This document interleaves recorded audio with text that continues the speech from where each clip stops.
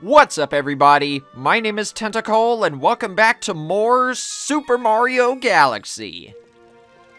I was trying to sync up the intro to when I entered this place for the sake of this video. Anyway, last time we got introduced to the Purple Comets, a very nasty prankster comet that's part of the post-game. And now we're going to the Ghostly Galaxy again, because there's one in orbit here. This mission is pretty short, so I think it would be a good way to start this video. Let's get going with purple coins in the bone pen. Yep, it's set in a part of a very spooky sprint. Oh, and the music here is really good. This music is used for a lot of the purple coin missions in the game. And rightfully so. It's epic. Now, I don't know if there are exactly a 100 purple coins in this, but it still helps to collect as many of them as you can.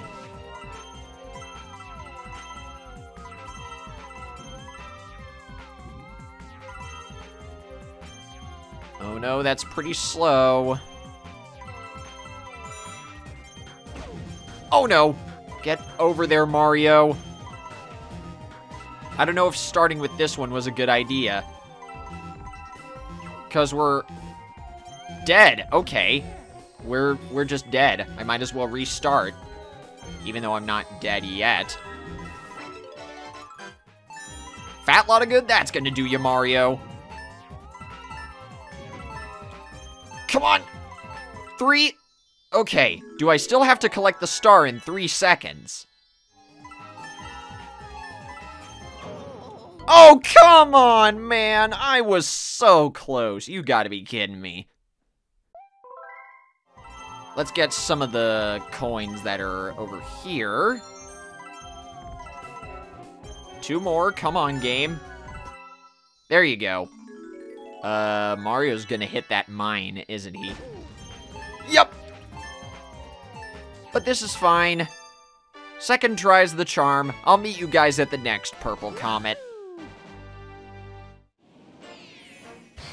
Okay. Now we're here in the Battlerock Galaxy, all the way back in the fountain, because it's time for purple coins on the Battle Rock.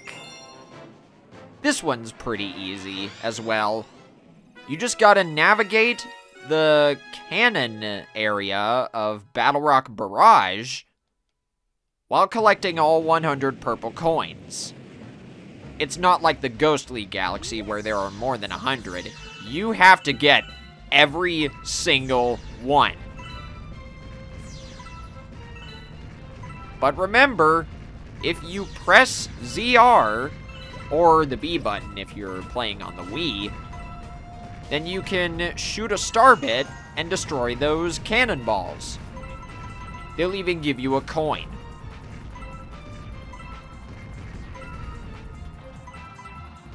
There's a version of this that's in the Dreadnought Galaxy, but it's much harder. I consider that to be the hardest Purple Comet in the game and one of the hardest levels in the game. I'm not joking. There are other purple comets that people say are harder. Nah. The Dreadnought Galaxy Purple Comet is the hardest level in the game. Well, one of the hardest. I'm gonna probably save that one for last. For that very reason. I knew you were gonna pop out there.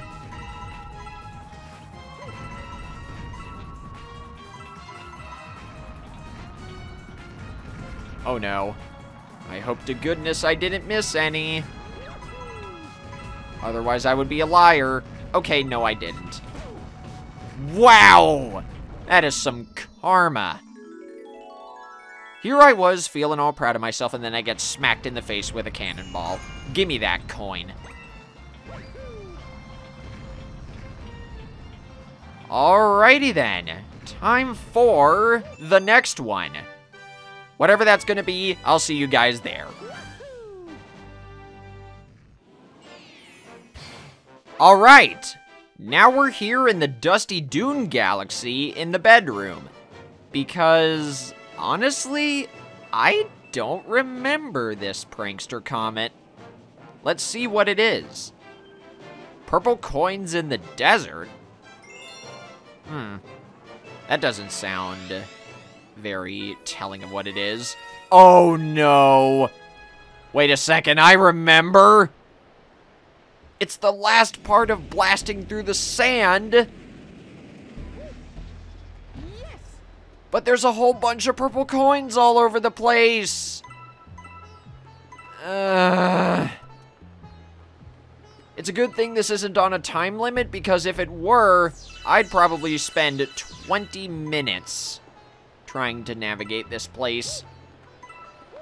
And the worst part is, some of these coins are in such high up areas, you have to use those tweesters to get there. There's even a coin on top of that thwomp. Oh, three coins. Okay. You can still reach him with a well-placed backflip, but the point still stands. These purple coins are up and down and all around, and you gotta get all of them.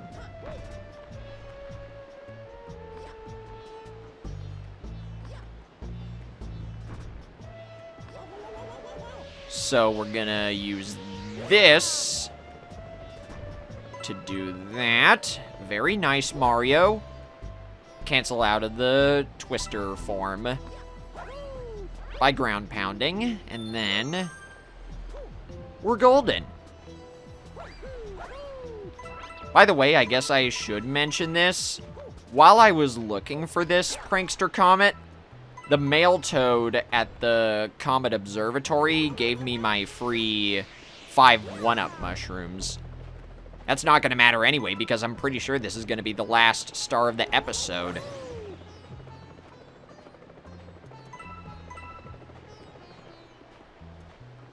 Believe me when I say, though, once we get further and further into this, the prankster comets, or I guess I should say the purple comets, are going to be 10 times harder.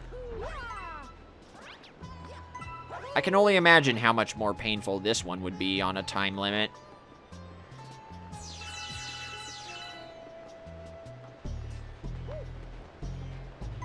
It makes matters worse when uh, the tweesters are directly in the path of the purple coins.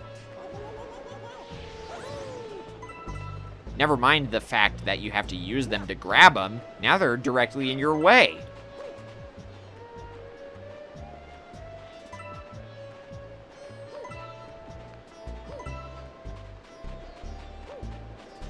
Get out of here, dry bones. You bother me. And we go this way, get some star bits, and I'm pretty sure there are purple coins on this side. Yep, I was right. There are those tweesters that have debris in them. Not gonna talk to you just yet, Captain Toad. I got more coins to find. Yeah, see? I missed some. Dag nabbit.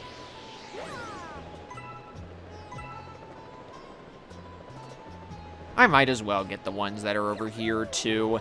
Then I'll meet you guys over on the other side.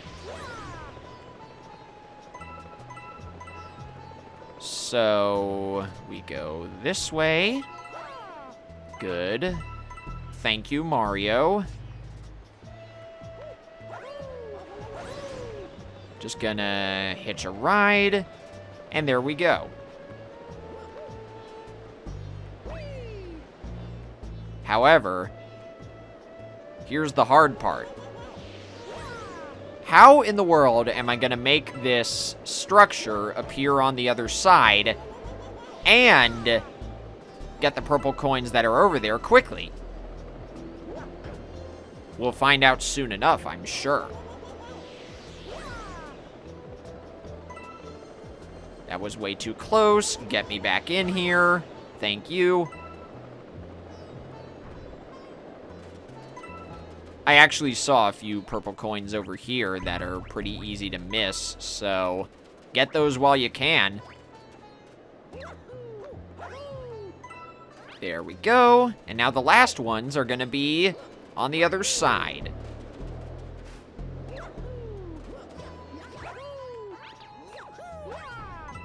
Before we do anything else, though, let's take a quick peek. Did I miss any coins over here, game? Good luck, he says. Okay, I'm gonna need it, apparently. It doesn't look like I missed any of the coins, so... Let's mosey. Long jumping is your friend.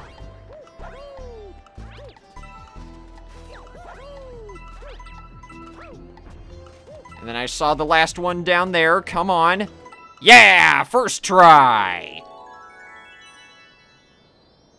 And I believe that is gonna be a good stopping point. So, next time on Super Mario Galaxy, I guess the hunt for the Purple Comets continues. And things are definitely gonna be much more difficult from here on out. So, I'll see you guys then. This is TentaCole's signing out. Take care, everybody.